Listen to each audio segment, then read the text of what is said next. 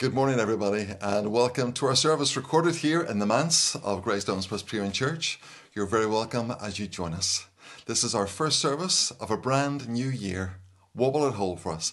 2021. It's got a nice ring to it, hasn't it? Hope you've had a lovely Christmas time, and I hope you're looking forward to a new year. I'm going to read you a verse from Psalm 65, verse 11, just this lovely verse that says this You crown the year with your goodness and your paths drip with abundance. You crown the year with your goodness, and your paths drip with abundance.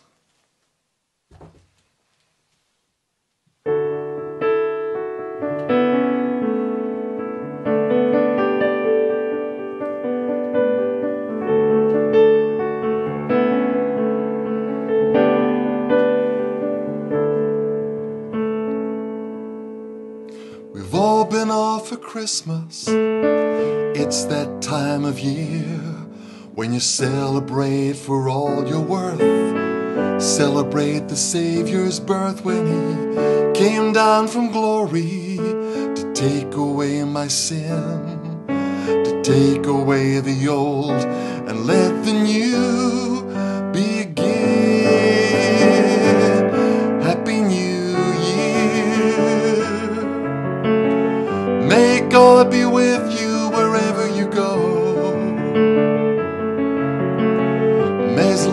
surround you so that you may know no fear.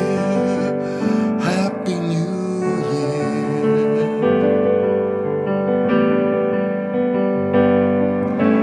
Wise men come and worship, and when you do, you find that Jesus is the way, the truth, the life for all mankind. That baby in the stable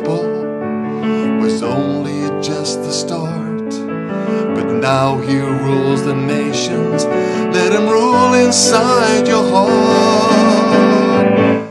Happy New Year. May God be with you wherever you go. May His love surround you so that you may know no fear. Happy New Year. Happy New Year.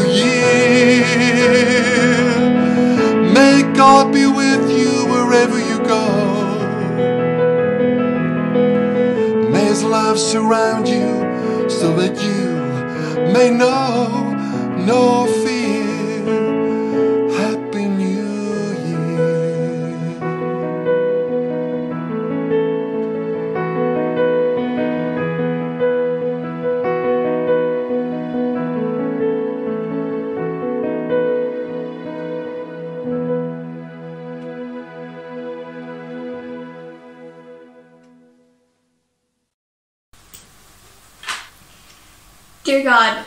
you that you are with us and thank you that you helped us get through 2020. It was quite a difficult year for a lot of people, but thank you that you helped us get through it all and we are now in 2021. And thank you that we know that we can trust in you and thank you that there's new vaccination coming out and it is currently being given out to people and thank you for this amazing time that we can have together as a family, even though we can't meet up with other people. And I want to say thank you for the uh, ability to use technology so we can uh, be like we're talking to face to face. But uh, and I pray, and Lord, I pray for opportunities, and opportunities can often come in unexpected ways. And with the new year upon us, I pray that we can all use our talents and our skills and to best serve you. Um, and I pray for wisdom, Lord, and uh, wisdom to um, approach the coming year with um, um, spiritual sight and uh, with kindness to other people, Lord. I pray. Thank you, God, that you really have blessed us so much in so many ways. Thank you that you will bless our year 2021 as well and uh, help us to enjoy the little things and take the lessons from 2020 into the new year and uh, give us give us um, nice time, and thank you that you will bless us with the health and uh, being with us the whole time. In your name we pray.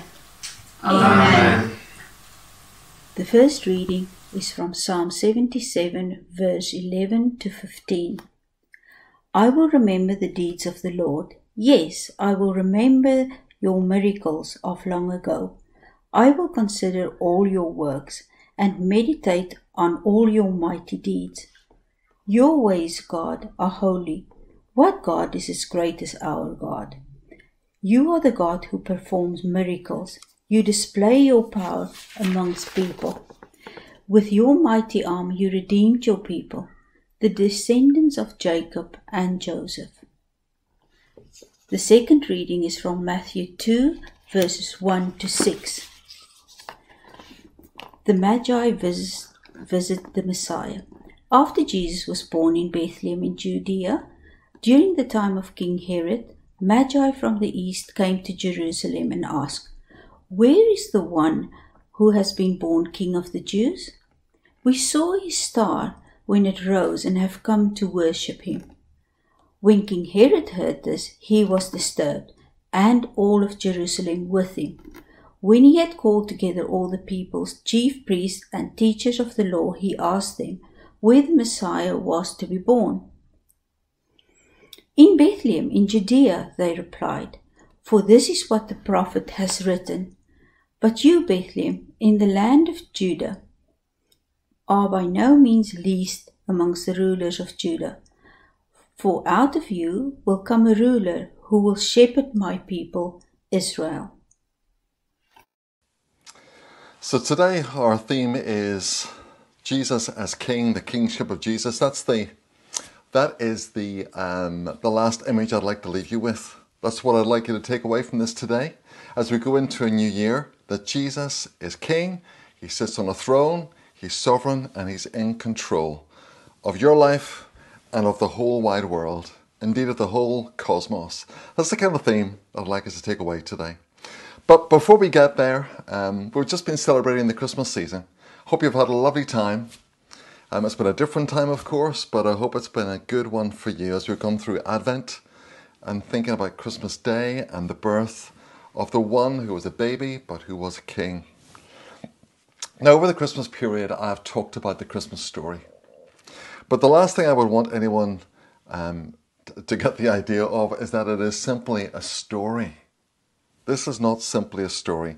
The Gospels that we have in the Bible, Matthew, Mark, Luke, and John, are historical documents. They're full of eyewitness accounts of what really happened at every part of Jesus' life, indeed throughout the history of God's people, but particularly at the birth narrative. Eyewitnesses of accounts that really happened.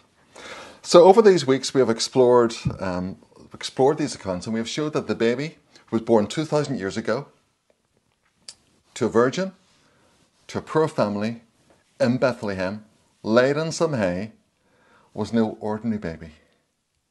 He was an extraordinary baby, for this was God incarnate.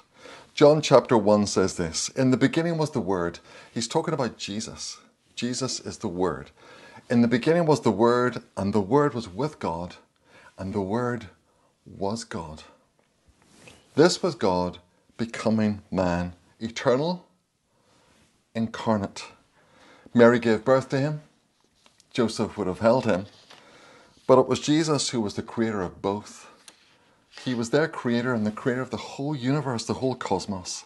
So the birth, what we celebrate, as I said a few weeks ago, wasn't simply a beginning it was a becoming. The Word became flesh and dwelt among us. Paul tells us the same thing um, in Philippians chapter 2, tells us this, but also about why Jesus came. Christ Jesus, he says, who being in very nature God, did not consider equality with God something to be grasped, but rather he made himself nothing by taking the very nature of a servant, being made in human likeness and being found in appearance as a man, he humbled himself, becoming obedient to death, even death on a cross. This was why he came. Now, who can fully understand these things? This is a mystery. God becoming man, God dying in our place for our sin. This is a real mystery to us, and it's really quite impossible to fully understand it. It is the mystery of God. But we live in a world of mystery every day, don't we? Every time I pick up my phone to use it, it's a mystery to me. I don't know how it works. Every time I use the computer, it's a mystery to me.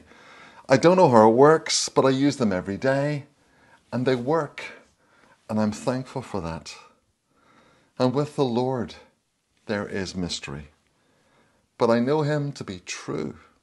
I know him to be Emmanuel, God with us.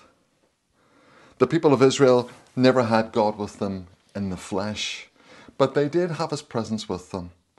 And they saw him working, working in their lives, working in their nation, working all the way through history. He had done great things for them. In the book of Deuteronomy, Moses records his final address to the people.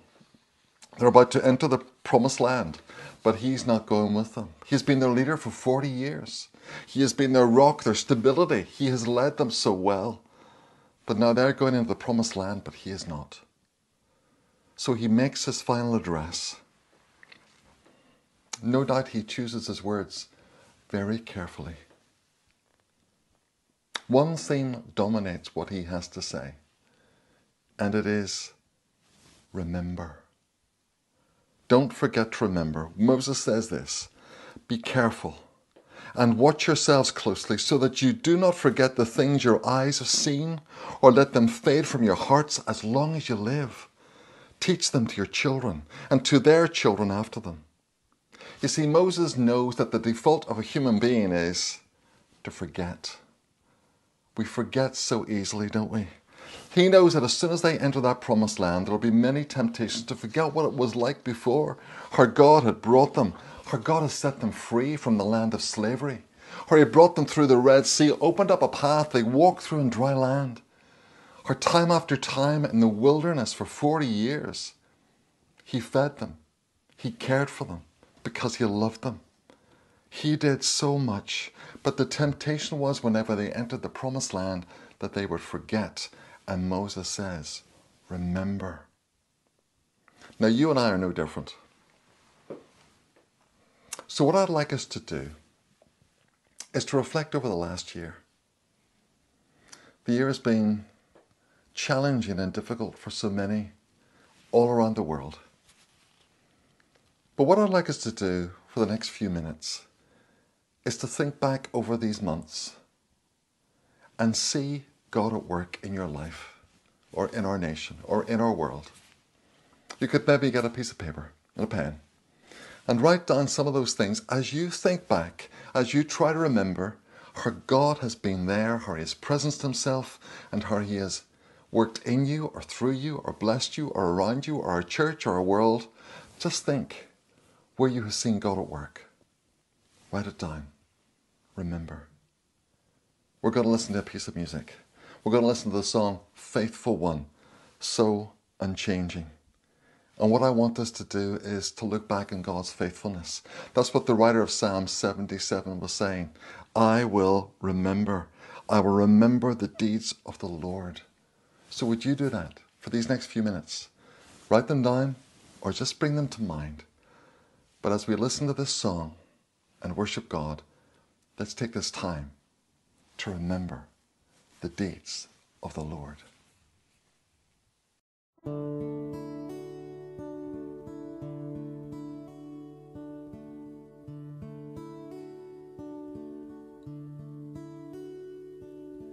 Faithful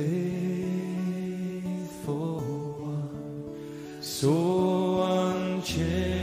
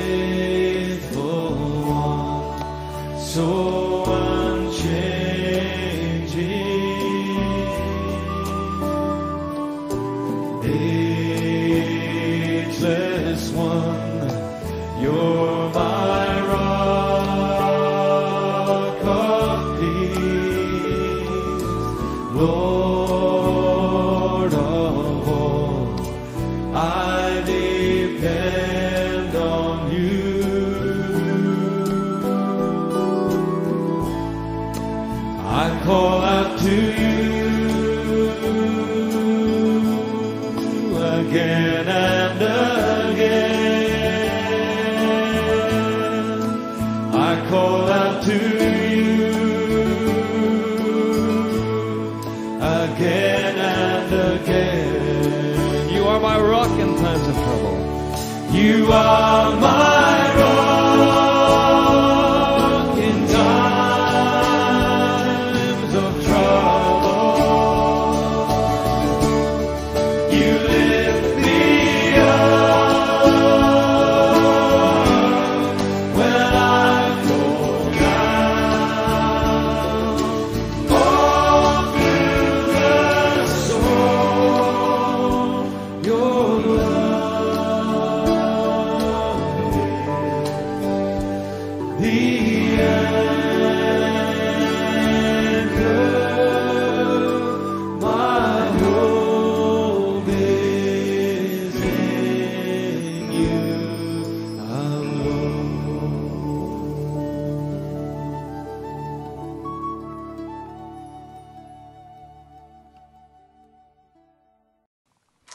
first talk was about looking back, remembering the goodness of the Lord, and I hope you found that to be a, a useful exercise as you look back over the last number of months.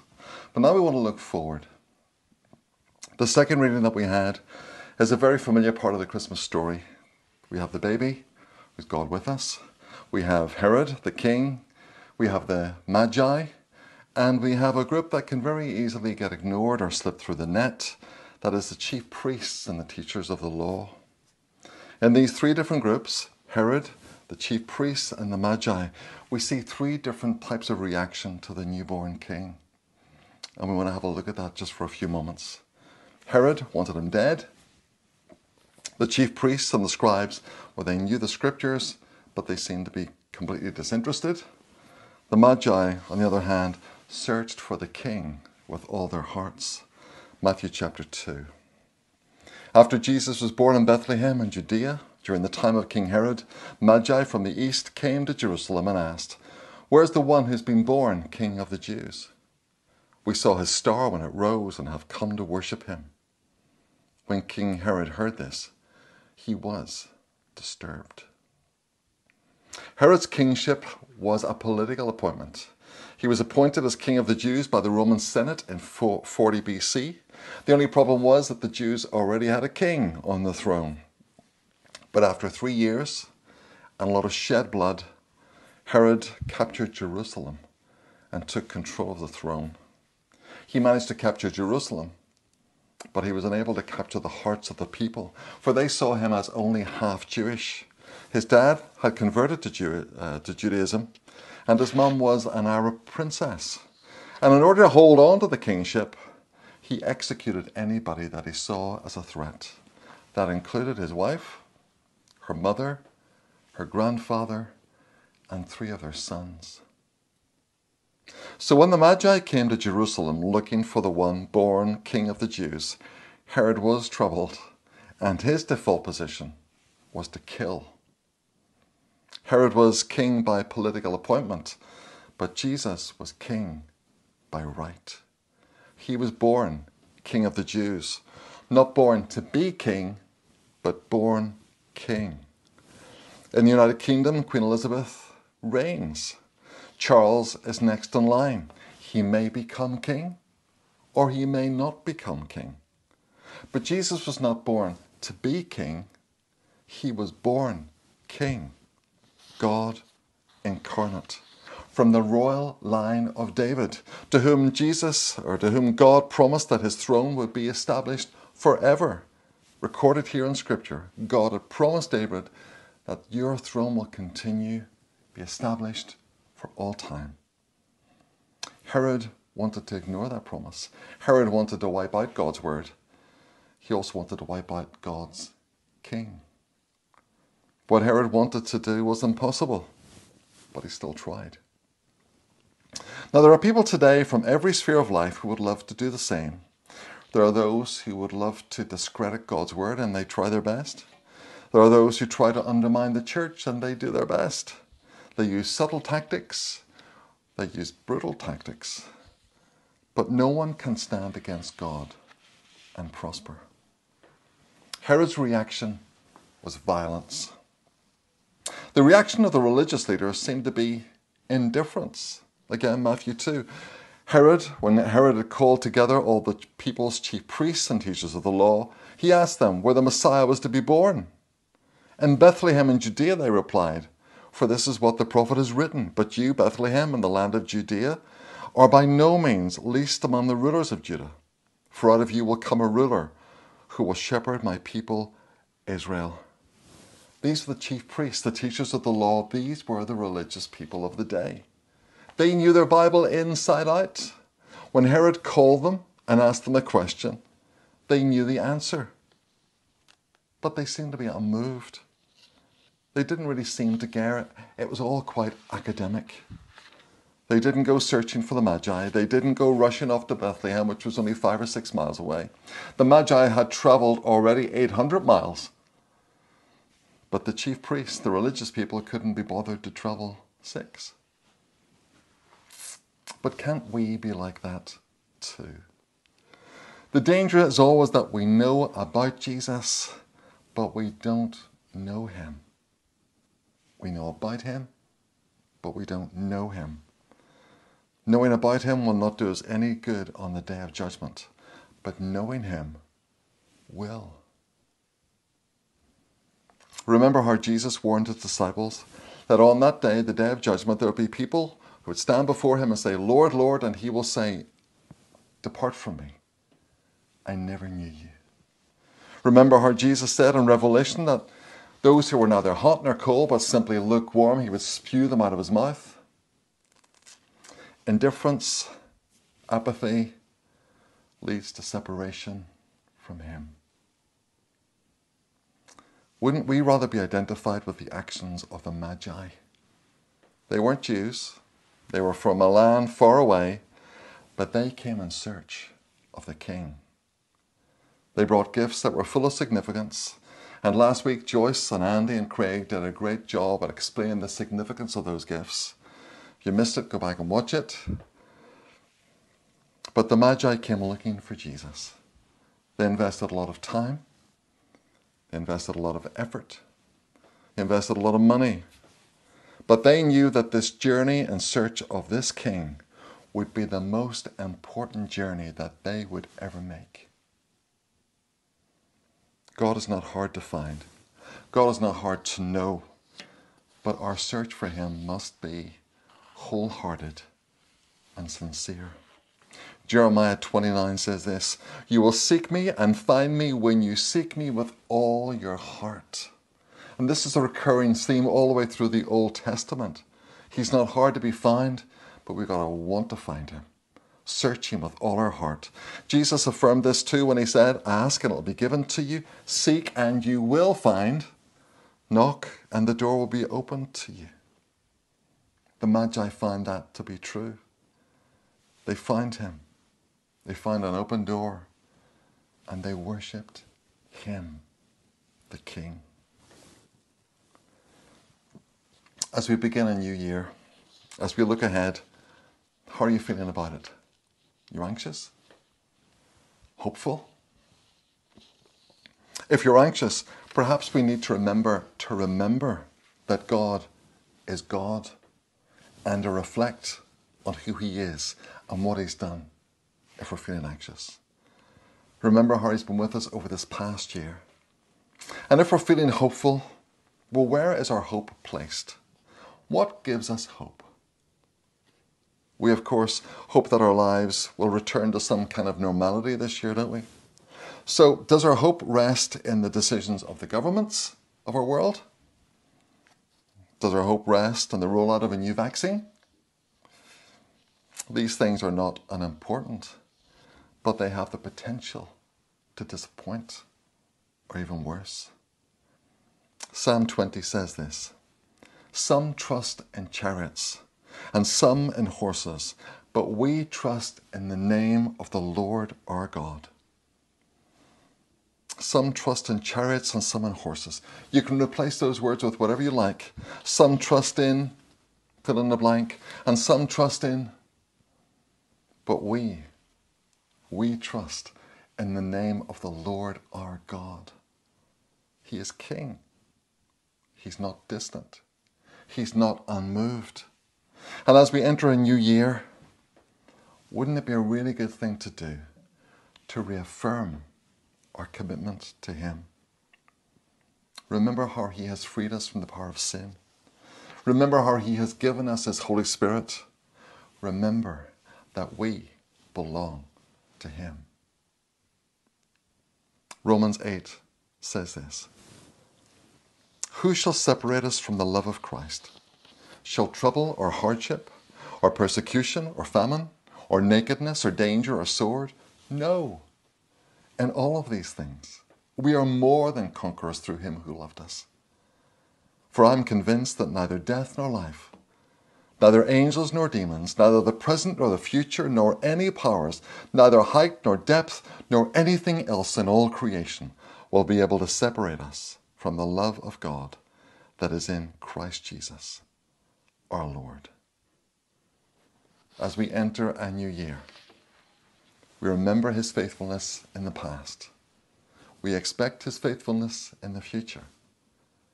We know that he is king. We can trust him and we can worship him. Amen.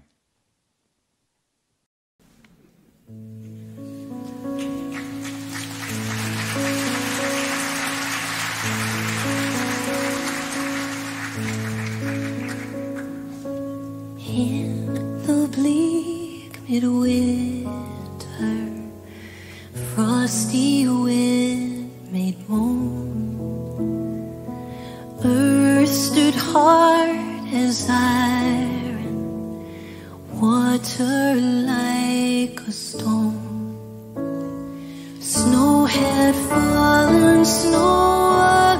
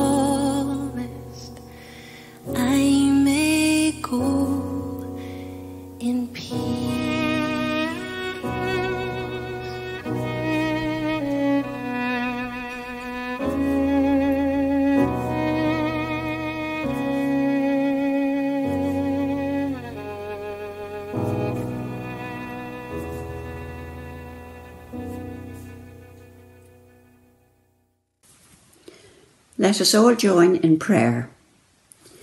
Lord, as we start a new year with the pandemic still with us, we pray that 2021 will be a new beginning. The last year has been so difficult for so many people. Everyone has been touched in some way by COVID 19.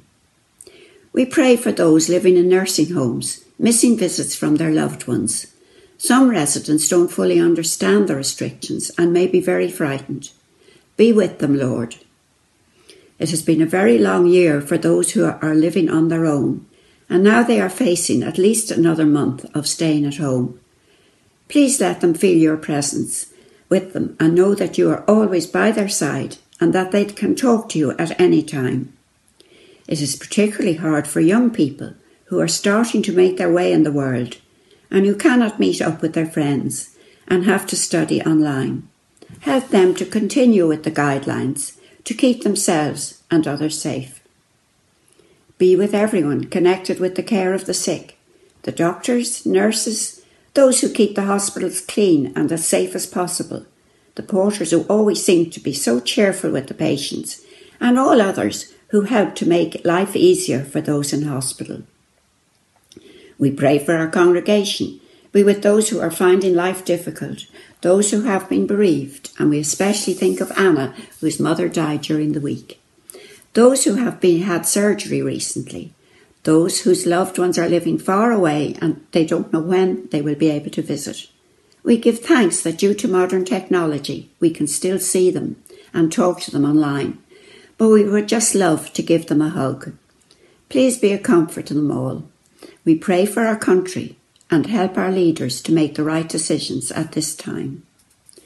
Lord, we pray for those who are homeless. We thank you for those who try to bring some comfort to them with food and warm clothing, which is badly needed as the weather gets colder. We know you are working through these people. You have touched the hearts of so many to help others in these difficult times. Thank you, Lord. We thank you, Lord, for all those who have made it possible for everyone to still go to church virtually, and we look forward to the time when we can join up in the church building and worship together. Thank you, Lord, for all those who have been working tirelessly to develop a vaccine to immunize us from this awful virus. We pray that this vaccine will enable us to gradually get back to being together again. We pray all this in Jesus' name. Amen. So I'd like to thank everyone who took part in our service today, to the Garcias, to Lois, and to Karen. And we're going to conclude our service by praying together, of course. I'm going to use the words of John Wesley, his covenant renewal prayer. As we finish our service, as we go into a new year, I thought it'd be a wonderful way for us to rededicate our lives to Him. So let us pray. I'm no longer my own, but yours. Put me to what you will. Rank me with whom you will. Put me to doing, put me to suffering. Let me be employed for you, or laid aside for you, exalted for you, or brought low for you. Let me be full, let me be empty. Let me have all things, let me have nothing. I freely and wholeheartedly yield all things to your pleasure and disposal. And now, glorious and blessed God, Father, Son, and Holy Spirit, you are mine, and I am yours, so be it. And the covenant now made on earth, let it be ratified in heaven. Amen. And we're going to conclude our service by listening to the wonderful Hallelujah chorus from Handel's Messiah. Handel wrote this piece of music um, to express the glory of God, who is King of kings and Lord of lords. So let's listen and let us worship.